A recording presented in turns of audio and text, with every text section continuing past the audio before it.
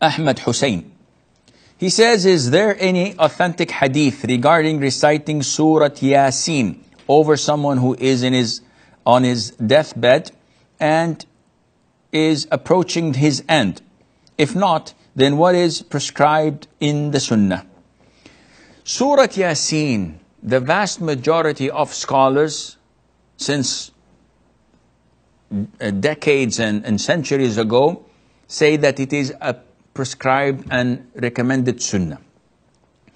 But when we listen to other scholars who beg to differ, we find that they say that this is not a sunnah. So there is a dispute. Some say sunnah, some say it's not sunnah. What to do? Allah Azza wa gave us the answer in the Quran. He said, whenever there is a dispute among you, refer it back to the Quran and to the Sunnah. So we go back and check the Quran, there's nothing.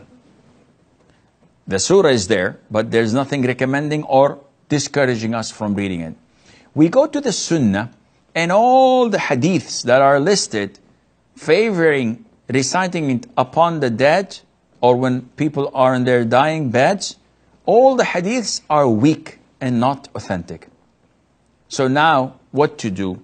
follow the great scholars blindly, though we know that the foundation they built their, their opinion upon is weak, is not authentic?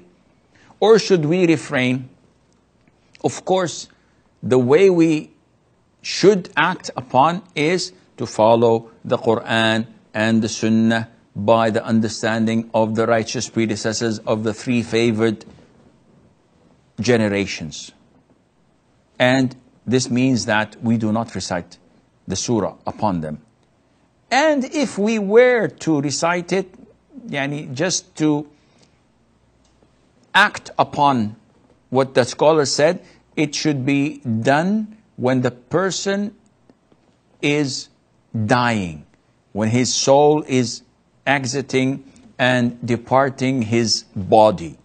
Then it is okay, according to the majority, to recite it because during or in the surah itself, there is mentioning of that righteous, uh, uh, pious person who, on his dying bed, said, I wish, saying to the angels, I wish that my people know what Allah has prepared for me. Uh, and, and this gives hope to the dying person to be like him. What to do from the sunnah? The sunnah is that when you are at the bed of a dying person, to do ruqyah, to give him dua, and to make sure that the last thing he says is the testimony of truth. So the Prophet says, as some, whoever concludes his life and the last thing he said was, La ilaha illallah, there is no God worthy of being worshipped except Allah, or Ashhadu an la ilaha illallah. I bear witness and testify that there is no God worthy of uh, being worshipped other than Allah. If this was the last thing he utters, then he will be uh, uh, uh, sent to Jannah, to paradise with the grace of Allah. Having said that, you do not repeat until you bore him to death. No, you simply say, say La ilaha illallah. He says La ilaha illallah if he remains silent for five hours, this is sufficient. Even if he dies, no problem, because that was the last thing he said. But if he speaks and says after a couple of hours, I'm thirsty, give me some water. You give him the water and you say, say La ilaha illallah, so that the last thing he says before saying anything else would be uh, La ilaha illallah.